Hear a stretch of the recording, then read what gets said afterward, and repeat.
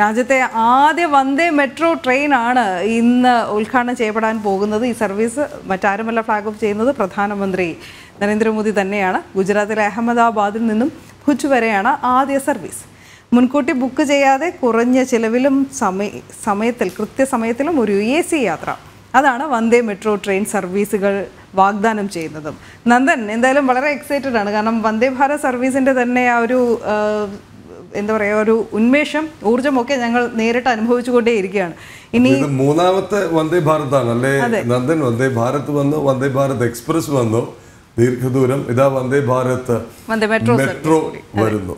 നമുക്കിനി ആകെ ചെയ്യാനുള്ളത് ഈ മെട്രോയൊക്കെ പോകുന്ന വന്ദേ ഭാരതൊക്കെ പോകുന്ന റെയിൽ പാളങ്ങൾ അട്ടിമറിക്കുക അതല്ലെങ്കിൽ ഉണ്ടെങ്കിൽ അവിടെ കല്ല് വെച്ചിട്ട് ട്രെയിൻ മറിക്കുക എന്നിട്ട് അതിൽ ആശ്വാ ആശ്വാസം കൊള്ളുക എന്നൊക്കെയുള്ള കുൽസിത പ്രവൃത്തികൾ മാത്രമാണല്ലേ ആ അന്വേഷണത്തിലേക്കും തിരിച്ചു പോകേണ്ടതുണ്ട്. നന്ദൻ. പ്രദീപ് അതായത് റെയിൽവേ വലിയൊരു വിപ്ലവം റെയിൽവേയുടെ ഒരു വലിയ വിപ്ലവമാണ് ഉണ്ടായിരിക്കുന്നത്. അതായത് സാധാരണക്കാർ ഉതകുന്ന ഒരു ട്രെയിൻ അത് റെയിൽവേ കാഴ്ചവെക്കുകയാണ്.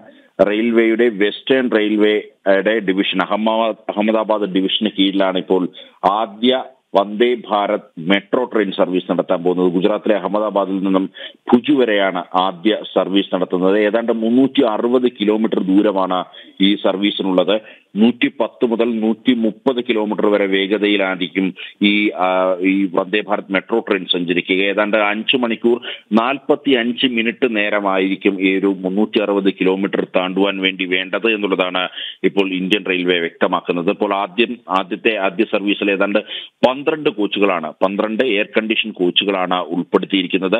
പിന്നീട് അത് പതിനാറായും ഇരുപതായും ഉയർത്തുവാൻ വേണ്ടിയുള്ള ഒരു ധാരണയിലാണ് ഇപ്പോൾ ഇന്ത്യൻ റെയിൽവേ നിൽക്കുന്നത്. മാത്രമല്ല ഒട്ടനവധി സവിശേഷതകൾ ഈ വന്ദേ ഭാരത് മെട്രോ ട്രെയിനിന് ഉണ്ട് എന്നുള്ളതാണ്. പ്രത്യേകിച്ച് സാധാരണക്കാർക്ക് യാത്ര ചെയ്യാൻ കഴിയും. സാധാരണക്കാരുടെ പോക്കറ്റിന് ഉതകുന്ന രീതിയിലുള്ള യാത്ര സാധിക്കും എന്നുള്ളത് തന്നെയാണ് ഇതിൽ ഏറ്റവും എടുത്തു പറയേണ്ടിയിരിക്കുന്നത്. അതായത് മിനിമം ചാർജ് മുപ്പത് രൂപ മാത്രമാണ്. അതേപോലെ തന്നെ റിസർവേഷൻ ആവശ്യമേ ഇല്ല. ട്രെയിൻ പുറപ്പെടുന്നതിന് മുമ്പേ സാധാരണ ട്രെയിനിന്റെ ടിക്കറ്റ് എടുക്കുന്നത് പോലെ തന്നെ കൗണ്ടറിൽ നിന്നും ടിക്കറ്റ് വാങ്ങി ഇതിലേക്ക് കടക്കാനുള്ള സൗകര്യമാണ് ഇന്ത്യൻ റെയിൽവേ ഒരുക്കിയിരിക്കുന്നത്. ഞാൻ നേരത്തെ സൂചിപ്പിച്ച പോലെ മുപ്പത് രൂപ ഏറ്റവും ചുരുങ്ങിയ നിരക്ക് മുപ്പത് രൂപയാണ്. അങ്ങനെ മുപ്പത് രൂപ നിരക്കിൽ യാത്രക്കാർക്ക് സുഗമമായി എ സിയിൽ സഞ്ചരിക്കാവുന്ന വിധമാണ് ഇത്തരത്തിൽ ഈ വന്ദേ ഭാരത് ഡിസൈൻ ചെയ്തിരിക്കുന്നത്. അതേപോലെ തന്നെ ഏതാണ്ട് ആയിരത്തി ഒരുന്നൂറ്റി അൻപത് യാത്രക്കാർക്ക് ഇരുന്ന് യാത്ര ചെയ്യാൻ കഴിയുമെന്നുള്ളതാണ്. അതേപോലെ തന്നെ ഏതാണ്ട് രണ്ടായിരത്തി അൻപത്തി എട്ട് യാത്രക്കാർക്ക് ഇതിൽ നിന്ന് യാത്ര ചെയ്യാൻ സാധിക്കുമെന്നുള്ളത് തന്നെയാണ്.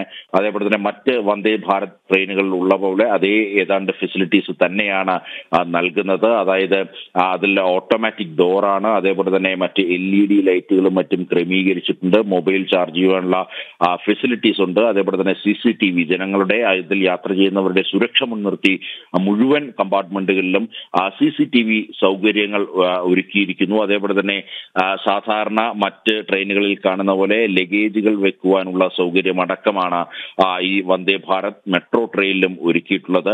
ഇപ്പോൾ ആദ്യ ഘട്ടത്തിൽ സർവീസ് നടത്തുന്നത് അഹമ്മദാബാദ് മുതൽ ഭുജ് വരെയാണ്. പിന്നീട് മറ്റ് മേഖലകളിലേക്കും ഈ സർവീസ് വ്യാപിപ്പിക്കുമെന്നുള്ളത് തന്നെയാണ് അറിയാൻ കഴിയുന്നത്. ഏതായാലും ഇന്നിപ്പോൾ പ്രധാനമന്ത്രിയാകും ഇത് ഫ്ലാഗ് ഓഫ് ചെയ്യുക.